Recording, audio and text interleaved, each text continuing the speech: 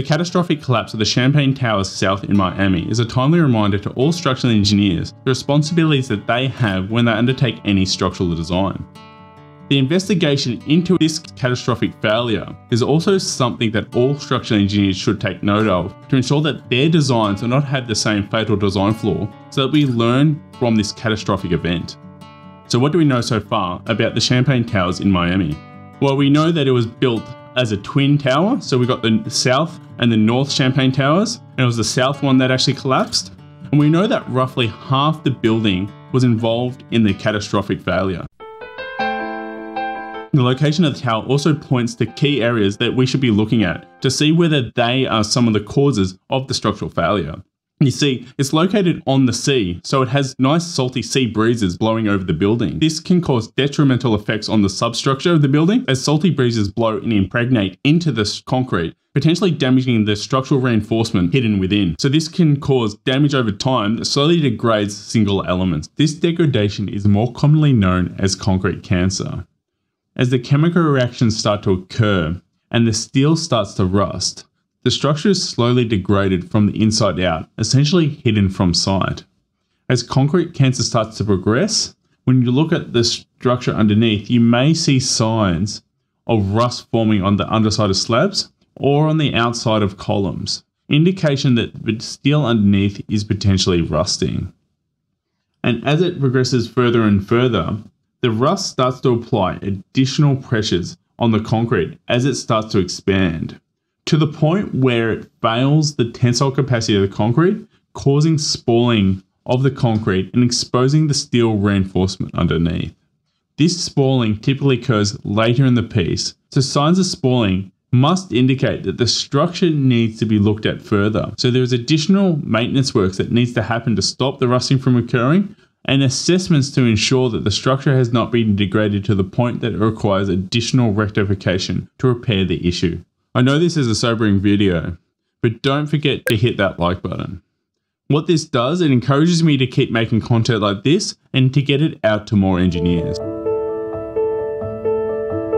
There was also reports in the 1990s that this building was slowly settling into the ground of roughly 1 to 2 mils. Could this be indications of footings or substructures having some issue that needed to be resolved. Definitely an area that the investigations will need to focus on to see whether it either exacerbated or potentially led up to the causes of the damage in the structure.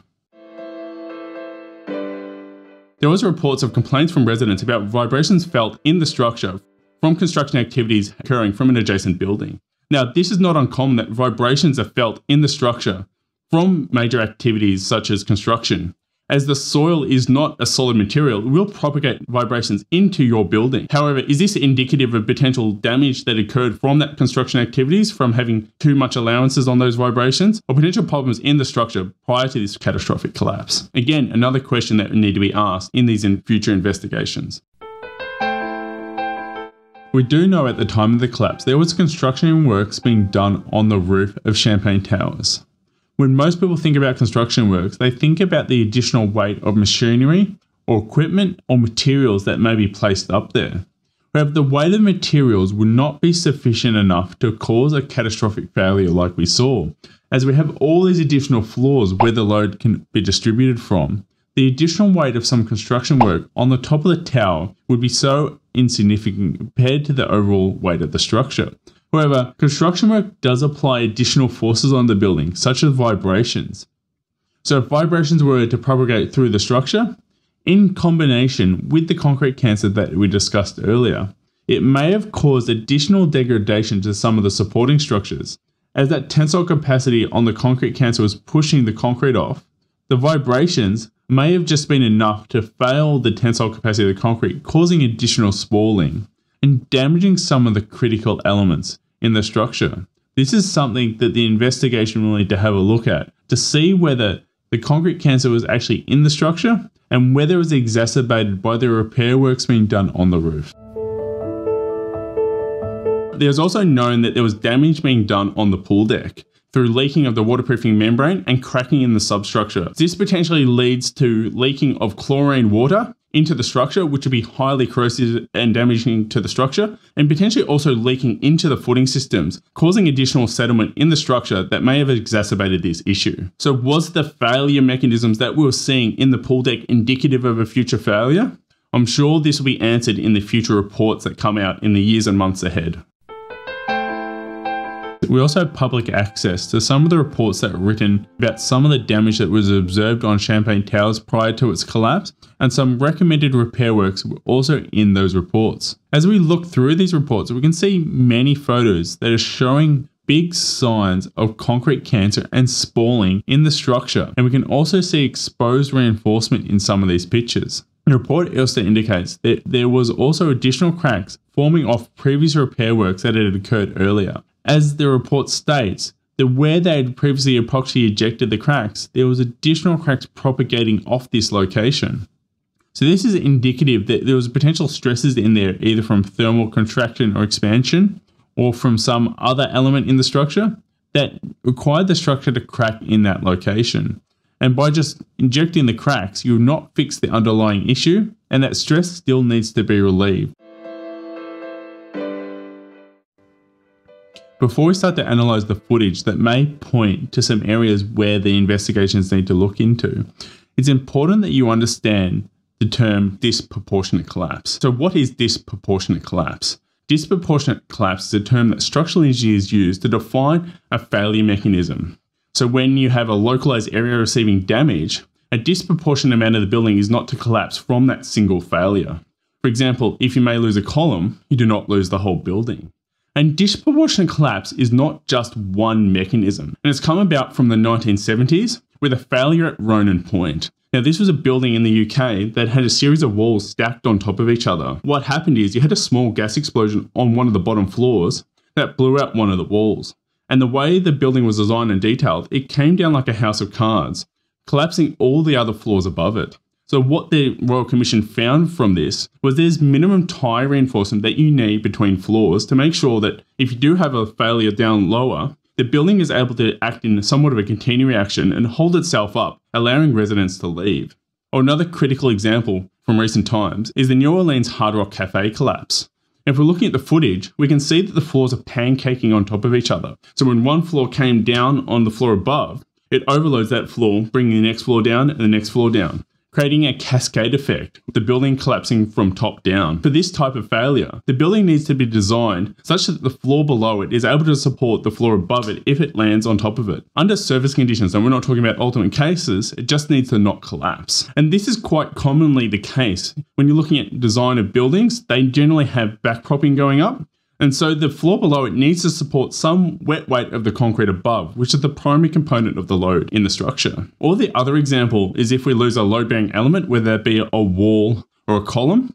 So we lose that column, now the floors will drop. But you detail the slabs in such a way that you've got continuous reinforcement or continuous post tensioning, allowing the slabs to go into catenary. So what this means is that firstly, you overload those first set of columns adjacent to it. Now those columns have additional load bearing capacity as they've been factored up both in their loading components and they've had a reduction in material safety factors. So those columns under a service condition have enough capacity to support additional loads if you lose a single element. And then you have the continuing reactions, and this is from having continuous reinforcement in the slab, both in the top and the bottom. So if it does drop down, it may sag a long way. Or if you have got post tensioning, which is normally those continuous tendons that are really good for these catenary forces that may occur.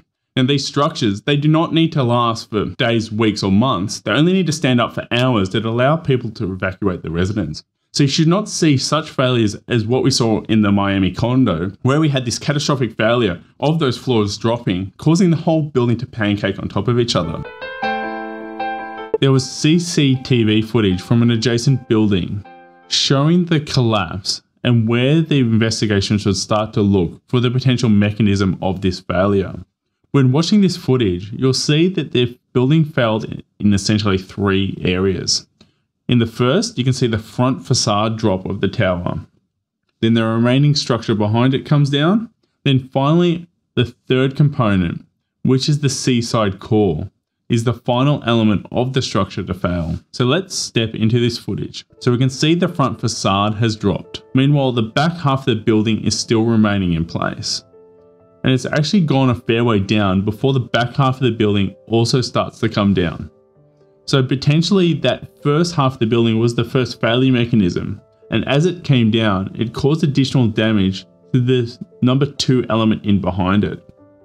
Now as we can see, the number 2 element starts to come down, However, that third part of the structure is still remaining. Until the remaining parts of the structure is almost on the ground, is when this final element of the tower comes over. Again, potentially indicating that there may have been damage from the first two components collapsing that caused that final section of the building to come down. As was seen in that footage, the failure occurred firstly in that first section and was sudden and catastrophic. This points to a number of failure mechanisms, either a shear failure on a transfer deck or more than likely, one of the compression members, such as a wall or columns, had a failure that caused the whole tower to come down. As we know from the reports, there was no major signs of distress other than the concrete spalling, but there was not indicative of a flexure failure that would see major cracking in the structure before it actually occurs where if we had a failure in such an element as a column, we may not know it's failed until it's too late. So there's essentially three questions that need to be asked into this failure. What was the cause of this failure? Was there any ways that we could have prevented this catastrophic collapse? And was the collapse disproportionate to the damage that the building had? If you have any ideas or knowledge of the actual causes of the failure at Miami, please comment below. And if you're interested in structural engineering, don't forget to hit the subscribe button and ding that bell to get all updates. And I look forward to seeing you next week. Bye.